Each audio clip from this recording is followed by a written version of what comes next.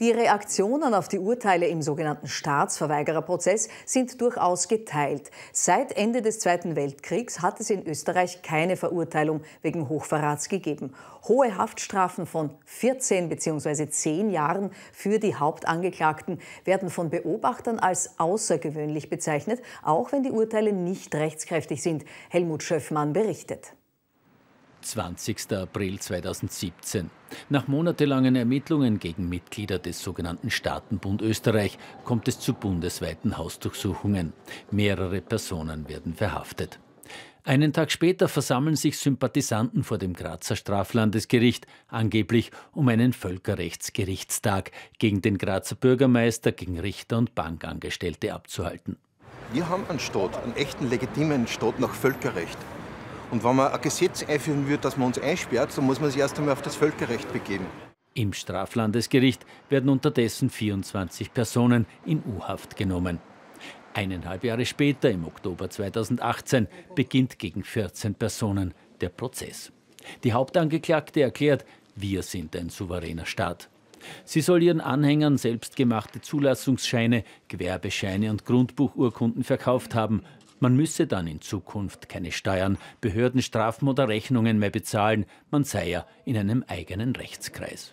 Spinnerei oder gefährliche Handlungen? Die Geschworenen entscheiden sich beim gestrigen Urteil ganz klar für Zweiteres.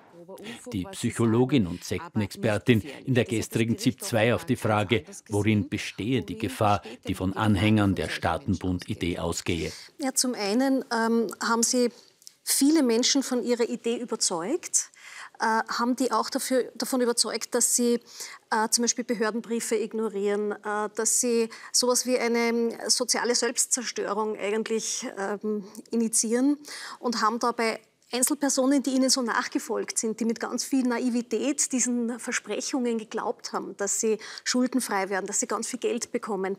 Äh, also da ist viel, da sind viele auch wirklich ins Unglück gestürzt worden.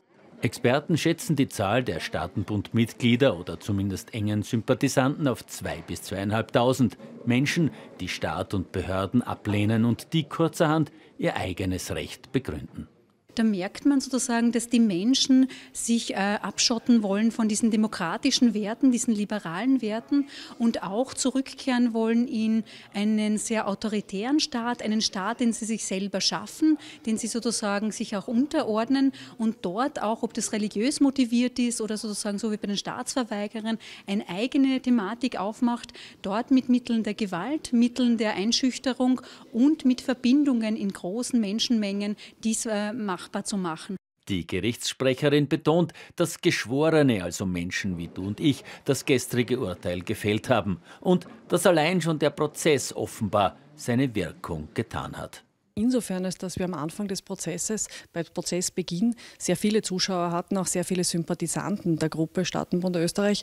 Das hat sich dann im Laufe der Prozesstage, auch aufgrund der Tatsache, dass dann teilweise Zuschauer als Zeugen einvernommen wurden, reduziert. Und am letzten Verhandlungstag, das hat man selber gesehen, waren eigentlich nur mehr die Presse im Raum und auch nicht einmal mehr Angehörige der, der Angeklagten.